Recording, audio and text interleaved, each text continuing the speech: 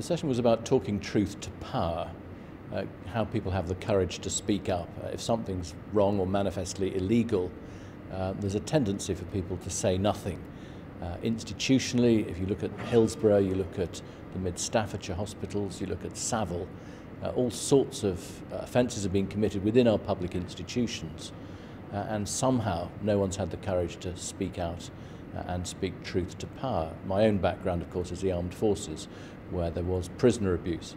Uh, I was the lawyer who spoke out against the, the abuse of prisoners. Uh, so I'm intrigued as to why this happens and what we might do to uh, change the culture uh, in which we live and in which we educate our children so that they're equipped uh, to speak truth to power uh, when they take their place in the public sphere. But the pressing question is how we might foster this spirit of speaking truth to power in our schools so that we don't have mid-staffs, we don't have Savile, we don't have ill treatment of prisoners or someone says, no, stop. As I say, I've got very limited experience, but I just want to share a couple of thoughts with you.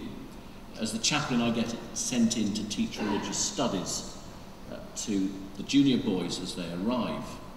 Sherborne is a Christian school with a Christian foundation.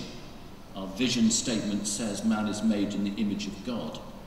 It speaks about the fundamental equality of all men and the love of your neighbour. It's a message we try to emphasise and reiterate and put into practice where I do find prejudice in the classroom, uh, I confront it, tell people or, or, or get the pupils to examine what they might have said or what they might have written, ask them why, ask them to, to look at that and, and see whether they think they're right or not, and also to challenge that directly itself. So I, I hope to confront it, uh, explain why they might be misunderstanding it, uh, and also hoping that that will foster something of that spirit uh, in the school community and beyond. I've also given quite strict moral sort of guidance, I hope, if something is going wrong in the house, for instance, someone's being bullied, someone's being beaten up, I expect them to intervene either personally or go and get someone to do something about it, and that this sort of behaviour won't be tolerated. When we had our induction week, the zero tolerance for discrimination on the grounds of race, gender, and sexual orientation are, it seems to me, a perfect platform for equipping our students for the future. What I'm talking about is human rights. The instruction of those rights in the classroom, the practice and enforcement of those rights in our school communities. Human rights are not only about human dignity, as is Christianity, but championing those rights and standing up for the individual. They are values in and for a secular age, regardless of the religious makeup of our schools. So speaking truth to power needs to be identified, encouraged, practiced, rewarded, mirrored in the conduct of staff, even set out in the school's vision or charter. An understanding that speaking truth to power is not about disloyalty, which we will, we will try and foster loyalty, but it's actually loyalty to the institution and to confront misguided loyalty and to hold to those values that we hold dear. And I'm looking forward, I hope, to a future where your students have the moral compass and moral courage to assume the honours which the state will bestow on you and speak truth to power instead. And if we can do that, find that in our culture, make that part of our school life, then as Victoria, Victoria Coren remarked, it needs to be identified like the Higgs boson particle, bottled and passed around every school in the country. Thank you very much.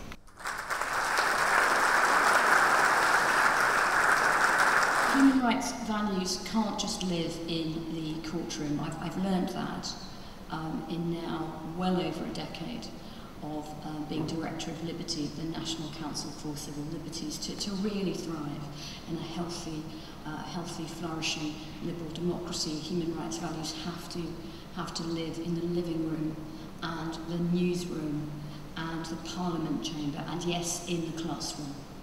And so I think there are two incredibly important ways in which you, as leaders as schools um, protect human rights values or not. And the first is in the culture of your school and the treatment of the young people. Um, and, and because you are the power, How are you going to get, how are you going to instill the values and the culture that allow them to feel that they can speak truth to, to your power? And that I can, is not always easy. As the Director of Liberty, I'm, I'm here to, to talk to the head teachers about instilling human rights values in the classroom. That's both in terms of the way that, uh, the way that schools behave towards their pupils, but also in terms of conveying the human rights values in the Human Rights Act and the Convention on Human Rights to, to these kids. They're so important as, uh, as, as future citizens and parents and head teachers and politicians. I think that if uh, in, in work like mine, you're always just responding to, uh, to the latest outrage and not thinking about the next generation of government and of citizenry. You're possibly always fighting the alligators and never draining the swamp. So this is a really important opportunity to, to talk to the leaders who, who shape young minds. I, I want to just say this. The Human Rights Act is our modern Bill of Rights. It also it also flows from a very, very old tradition. It's just the latest moment in that tradition. It's the post-war human rights settlement. But some of the values in there, in particular the fair trial values, go right back to 1215 and Magna Carta. Because I think the most important human rights value of all, in a way, is equal treatment or empathy or, or perhaps even for your kids, you know, the sense that we're not being hypocritical about the rule of law or about human rights. Perhaps it's about practicing what you preach, Nicholas. Perhaps, perhaps it's really as simple as some of those old adages, because in my experience of doing this work now for 13 years, I've never really met someone who's got a problem with human rights. We all love human rights, our own. It's other people's we've got a bit of a problem with. And now I'll stop and um, perhaps we can have some, some questions and discussion. Thank you.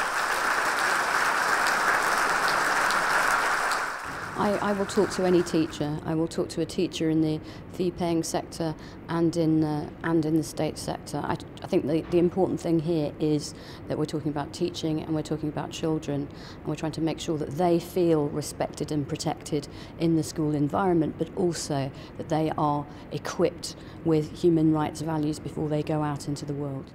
Never give up is another good thing to teach your pupils, however much ignominy is heaped upon you Uh, whilst you're pursuing truth.